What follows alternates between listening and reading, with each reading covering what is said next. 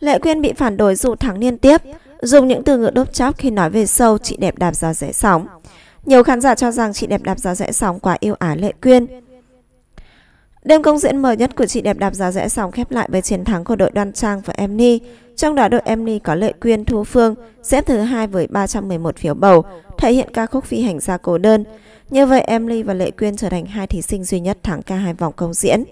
Kết quả này giúp cho Lệ Quyên an toàn. Tuy nhiên trên các diễn đàn, việc tiết mục phi hành gia cô đơn được bình chọn cao gây tranh cãi.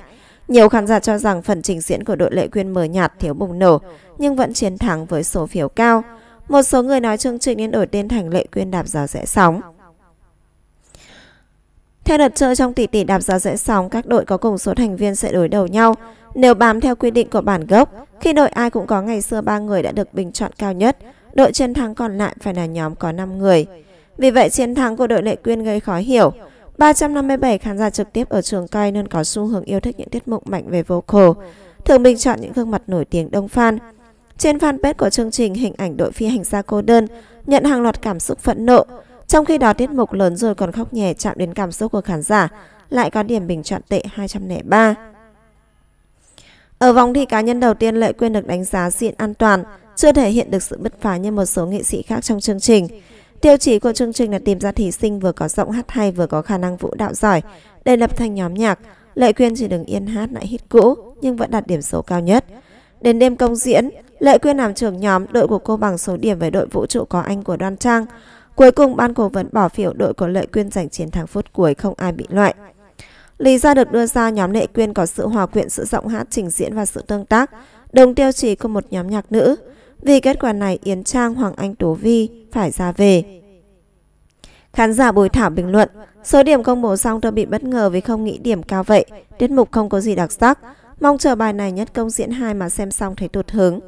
Tài khoản Trang Trần nhận xét, bài này dừng ở mức tròn trịa ổn, nhưng mà để được an toàn thì nhóm khác xứng đáng hơn.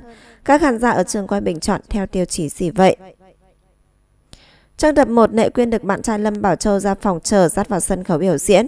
Phần bình luận sôi nổi của các chị đẹp dành cho cặp đôi này cũng chiếm một thời lượng tương đối. Mỹ Linh treo Lệ Quyên không ngờ chương trình được mang người nhà đến.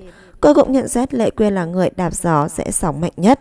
Về phía Lâm Bảo Châu, anh có nhiều hành động quan tâm bạn gái, nhưng bị nhận xét lố. Khán giả ngán ngẩm và vì chương trình bỗng biến thành sâu hẹn hò của Lệ Quyên và bạn trai. Trước những bình luận trái chiều, Lệ Quyên đăng đàn nói về việc xảo phiếu mua giải bằng những từ ngữ đớp chát. Lệ Quyên bày tỏ, ở cái tâm này tớ ham hố gì nữa ngoài niềm vui và trải nghiệm cùng đồng bọn.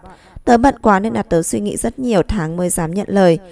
Tớ chơi công bằng và xanh chín với ekip cùng tất cả đồng đội, luôn ngẩng cao đầu chơi văn minh và chẳng cần ai chăm chút.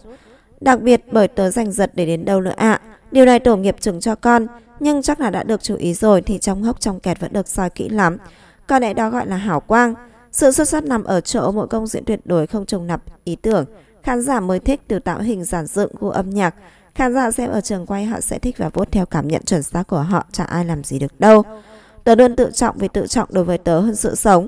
Khi còn trẻ chả cần ban chen với ai, chứ giờ trời Phật tổ nghiệp cho tớ tất cả điều tốt đẹp rồi, sân si chi cho mất độc tổn phước. Chẳng ai muốn nếm mùi truyền hình thực tế vì phiên bản chương trình quá vui quá hay.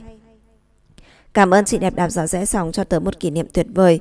Dù tớ chính thức kiệt sức, tớ chủ quan đến quá mài sức khỏe của mình. Quyên nói cho mình và cho rất nhiều chị đẹp khác đấy.